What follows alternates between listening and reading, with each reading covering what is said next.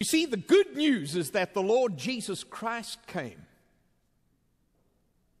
And when Jesus came, he didn't come to do away with the law, he came to fulfill the law.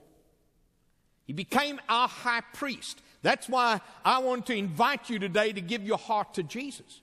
Because when you give your heart to Jesus, it's not about the law, it's about the love that you have in your heart concerning all that God has done for you in Christ Jesus. It doesn't make the law irrelevant.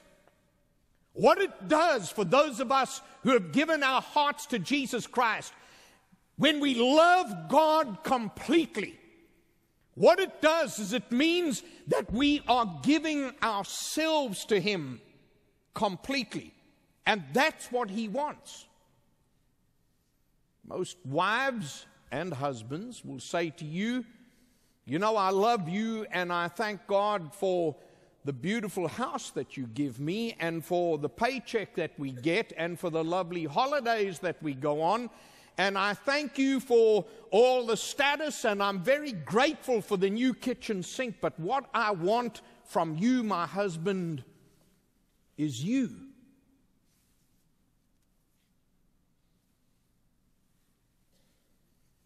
The biggest difficulty in marriage today.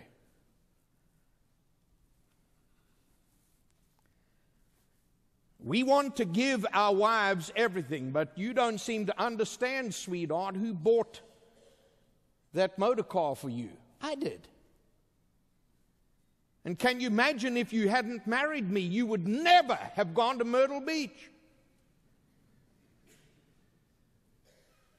And don't you seem to understand all the things that I do for you and the places that I take you and the beautiful house that I give to you and the and she is not saying to you, no, those things are irrelevant. I don't care about it. I don't care about your hard work. I don't care about your status. She's not saying I don't care about these things. But what she's trying to say to you and to me is the thing that I want more than anything else is you.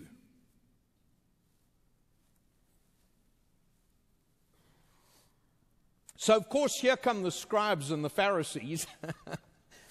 and these guys, they were debating in the preceding verses.